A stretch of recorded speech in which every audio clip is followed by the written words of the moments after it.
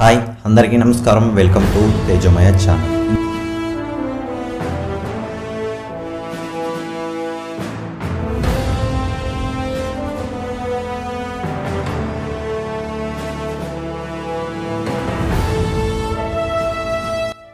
ఇంతకుముందు వీడియోలో మనం కొన్ని క్వశ్చన్స్ చెప్పుకున్నాం. అందులో ఒక క్వశ్చన్కి ఆన్సర్ చెప్పుకున్నాం. ఇప్పుడు మిగతా క్వశ్చన్స్కి ఆన్సర్స్ చెప్పుకుందాం. రెండవ ప్రశ్న అసలు నాకు ఏ పని చేయడం ఇష్టం? మూడవ ప్రశ్న. ఏ పనిలో నేను ఆనందాన్ని పొందుతాను? ఈ ప్రశ్నలకు సమాధానాన్ని నిజాయితీగా మీ మనస్సును అడగండి. ఉదాహరణకు మీరు ఇంటిని బాగా అలంకరించగలరు అని మీరు మీ సామర్థ్యాన్ని తెలుసుకున్నారు అనుకుందాం. అయితే ఇప్పుడు బాగా ఆలోచించండి. మీరు ఇంటిని బాగా అలంకరించడం అనే పని చేయడం మీకు ఇష్టమేనా? బాగా ఇష్టమేనా? అని ప్రశ్నించుకోండి. మీరు ఇష్టంతో మీ ఇంటిని బాగా అలంకరించుకోగలరు అని మీకు అనిపిస్తే వెంటనే ఆలోచించండి. నేను ఉదాహరణకు మాత్రమే చెప్తున్నాను. మీకు ఇష్టమైన పని మీకే తెలుస్తుంది.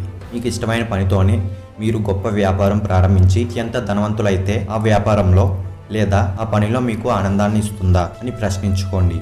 మీకు ఇష్టమైన పని ద్వారా గొప్ప వ్యాపారం ప్రారంభించి మీకు కావలసినవి అన్నీ సంపాదించుకొని ఆనందంగా గడపడం నిజంగా మీకు ఆనందమేనా? ఆలోచించండి. అవును ఒకవేళ నాకు ఇష్టమైన ఈ పనిలో నేను వ్యాపారం ప్రారంభించి అత్యంత ధనవంతుడు అవ్వగలిగితే అది నాకు చాలా ఆనందాన్ని ఇస్తుంది అని నిజంగా మీకు అనిపిస్తుందా? అయితే ఇంకేమీ అవసరం లేదు. ఖచ్చితంగా ఈ పనినే మీ లక్ష్యంగా మార్చుకోండి. అది కూడా అత్యున్నతమైన లక్ష్యంగా. ఎలా అంటే ఉదాహరణకు నేను ఇంటిని బాగా అలంకరించగలను. కాబట్టి నేను ఈ దేశంలోనే ప్రసిద్ధిగాంచే ఇంటీరియర్ డెకరేషన్స్ కంపెనీ ప్రారంభించి కోర్టులో వ్యాపారం చేయాలి. మీకు ఇష్టమైన పనిని మీ గొప్ప వ్యాపారంగా చేసుకోండి. చేసుకొని వ్యాపారం ప్రారంభించండి. ఇదే మీ అంతిమ లక్ష్యం. ఇదే మీ గొప్ప కళ. ఇదే మీరు సాధించబోయే విజయం. గుర్తుపెట్టుకోండి. నాలుగవ ప్రశ్న. నా భవిష్యత్తులో నేను ఎలా ఉండాలి? ఈ ప్రశ్నకు సమాధానం తెలుసుకుందాం. ఎప్పుడైతే మీ లక్ష్యాన్ని గుర్తించగలిగారో అప్పటి నుంచి మీ ఊహలకు రెక్కలు తొడిగారు. మీ లక్ష్యాన్ని చేరుకోవడం పూర్తయితే మీరు ఎలా ఉండాలో ఊహించండి. కలగనండి. మీరు మీ ఇంటీరియర్ డెకరేషన్స్ కంపెనీలో వంద మంది మీ కింద పనిచేసే ఉద్యోగులతో ఒక మీటింగ్లో ఉన్నట్లు ఆఫీస్ నుండి ఇంటికి రాగానే మీ బెంచ్ కార్లో హాయిగా మీ ఇంటి కోటలో ఉన్న స్విమ్మింగ్ పూల్లో తిరిగినట్లు మీ కుటుంబం మరియు పిల్లలతో గొప్ప ప్రదేశాలలో మీ సెలవులను గడిపినట్లు ఇలా మీ ఊహలను ఎంత హద్దు ఉందో అంతవరకు ఊహించండి. కలలు కనండి. ఎందుకంటే ఇవన్నీ నిజమవబోతున్నాయి.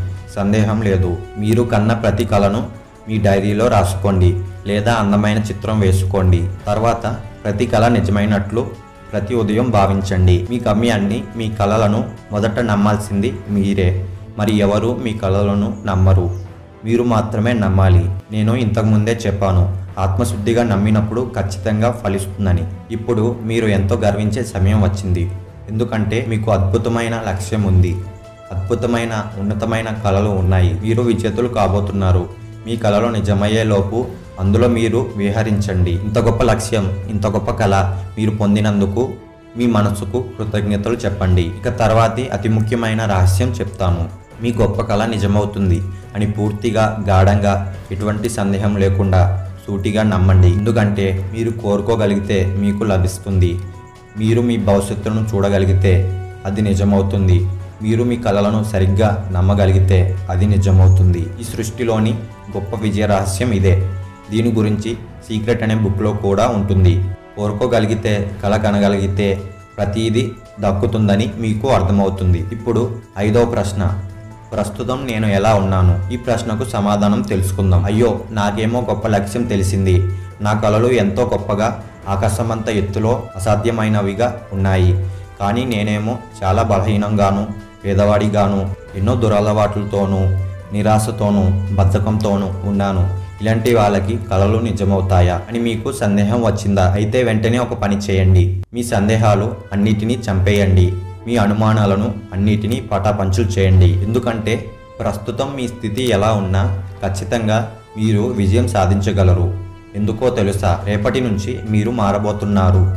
మీ లక్ష్యం నిజమైనదే అయితే ఆ లక్ష్యం ఓ పక్కన మిమ్మల్ని ఉండనివ్వదు. అన్ని విధాలుగాను సమర్థుడిగాను మిమ్మల్ని తయారు చేస్తుంది. నిర్ణయం తీసుకోండి. ఈ స్థితిలో మీ నిర్ణయం మీ భవిష్యత్తుని ఫలింపజేస్తుంది. మీలోని చెడు గుణాలని మంచిగా మార్చుకొని కఠిన నిర్ణయం తీసుకోండి. సమయాన్ని ఆరతి కర్పూరంలా వృధాగా కరిగించేసే ఈ పద్ధతి మార్చుకోవాలని నిర్ణయం తీసుకోండి. నీలోని సామర్థ్యాలను ఒక్కొక్కటిగా పెంచుకోవాలని నిర్ణయం తీసుకోండి.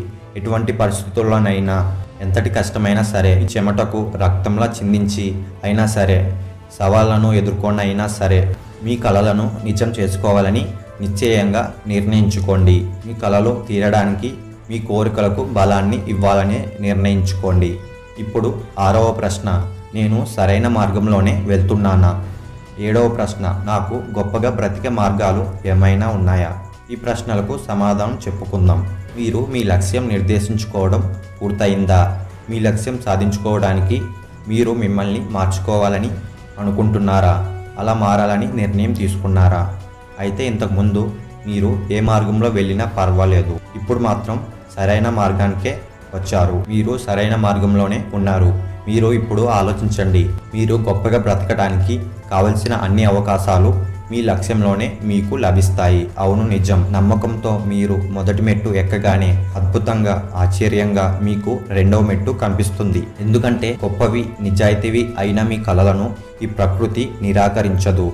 విజయం పొందాలనే నిజమైన కోరికే మీరు మీ విజయం పొందడానికి కావలసిన మార్గాలు మీ దగ్గరకు తీసుకువస్తుంది. మీరు పెట్టుకున్న మీ ఆశయం నిజం చేసుకోవడానికి ఎలా ప్రయత్నించాలో ఏ మార్గాలను అనుసరించాలో ఇప్పుడే మీకు తెలియకపోయినా పర్వాలేదు కానీ ఖచ్చితంగా మీ కళ నిజమవుతుంది అని మాత్రం నమ్మండి చాలు. అలా మీ లక్ష్యాన్ని పూర్తిగా నమ్మడమే మీ మొదటి మెట్టు. ఇప్పుడు ఈ మొదటి మెట్టు ఎక్కగానే తర్వాత రెండవ మెట్టు అనుకోకుండా ఆశ్చర్యకంగా మీకు కనిపిస్తుంది. ఎలాగో తెలుసా? ఈ లక్ష్యాన్ని సాధించుకోగలిగే దారుల కోసం మీరు వెతకడమే మీ రెండవ మెట్టు అవుతుంది. ఆలోచించండి. మీ లక్ష్యం గురించి పూర్తి సమాచారం సేకరించడానికి ప్రయత్నించండి. అదే లక్ష్యంతో విజేతలైన వారి గురించి చదవండి. ఆ లక్ష్యంలో ఉన్న ఇబ్బందులను ఎలా ఎదుర్కోవాలో తెలుసుకోండి. ఉదాహరణకు దేశంలోనే గొప్ప ఇంటీరియల్ డెకరేషన్స్ సంస్థ. ఇదే నా లక్ష్యం అయితే ఇంటీరియల్ డెకరేషన్ గురించి కొత్త పద్ధతుల గురించి తెలుసుకోండి. కొత్త వస్తువుల గురించి కొత్త డిజైన్ల గురించి అలాంటి సంస్థల పనితీరు గురించి ఇంటీరియర్లో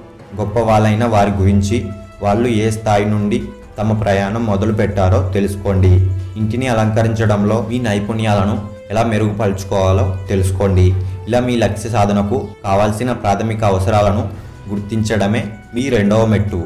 చూసారా నమ్మకంతో మొదటి మెట్టు ఎక్కగానే రెండవ మెట్టు ఎలా కనిపించిందో. దీని గురించి ఒక ఉదాహరణ చూద్దాం. చీకట్లో మనం కారులో ఒక కొత్త ప్రదేశానికి వెళ్ళాలని ప్రయాణం ప్రారంభించాం అనుకుందాం మన కారు లైట్ల వెలుగులో మనకి దారి కేవలం ఒక ఇరవై అడుగుల దూరం మాత్రమే కనిపిస్తుంది. ఆ వెలుతురును పించే ఆ ఇరవై అడుగుల దూరం వెళితే వెంటనే ఆ వెలుతురు ఇంకో ఇరవై అడుగులను దారి చూపిస్తుంది. కేవలం ఇరవై అడుగుల వెలుతురుని ఇచ్చే కాంతిలోనే మనం చివరికి మనం వెళ్ళాల్సిన కొత్త ప్రదేశానికి చేరుకుంటాం.